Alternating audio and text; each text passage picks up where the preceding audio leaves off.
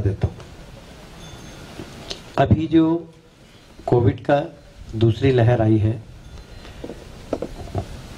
यह लहर आई है कि भेजी गई है, ये एक चर्चा का विषय क्योंकि दुनिया के अंदर यदि चाइना को किसी ने चुनौती दी तो भारत ने दी, मोदी जी ने दी। और ये चाइना का वायरल वार है क्या, इसके ऊपर आज बहस प्रारंभ हो गई हमें तो लगता है कि चाइना का वायरल वार है, क्योंकि सिर्फ़ भारत के अंदर ही दूसरी लहर आई है। लगा हुआ प्रदेश, लगा हुआ देश बांग्लादेश वहाँ नहीं, पाकिस्तान में नहीं, श्रीलंका में नहीं, भूटान में नहीं, अफ़गानिस्तान में नहीं, कहीं पर भी नहीं। तो ऐसा लगता है कि चाइना का वायरल वार है, भारत को परेशान करने का। पहली बात तो ये। दूसरी बात ये कि जब ऑक्सीजन की शॉर्टेज हुई तो मोदी जी ने जो मेहनत की है, जो ऑक्सीजन मुहैया कराई है सारे देश को, आप कल्पना नहीं कर सकते, दुनिया भर से ऑक्सीजन मंगाई, जल सेना, थल सेना, वायु सेना, तीनों को लगा दिया और भर भर के टैंकर, जहाजों से हवाई जहाज़ से आए और ट्रेन से भी रोज देश के एक स्थान से दूसरे स्थान ऑक्सीजन जा रही शुरू के पाँच छः दिन ज़रूर परेशानी हुई।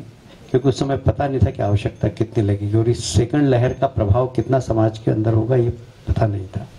पर चाइना का जो वार है, वायरल वार, ये भारत पे हुआ, ऐसा मेरा मानना और ऐसे समय में हमको देश के लिए खड़े हो जाना चाहिए। सबको।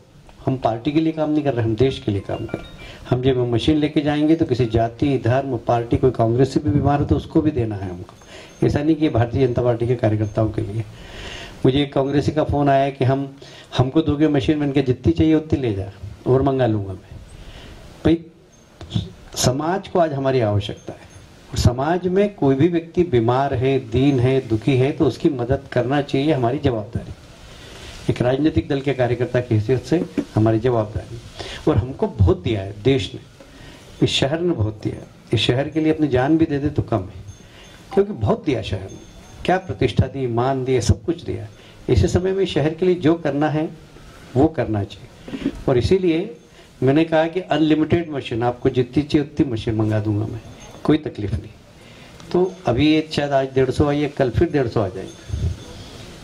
हैं? दो सौ आई है। और आ जाएगी।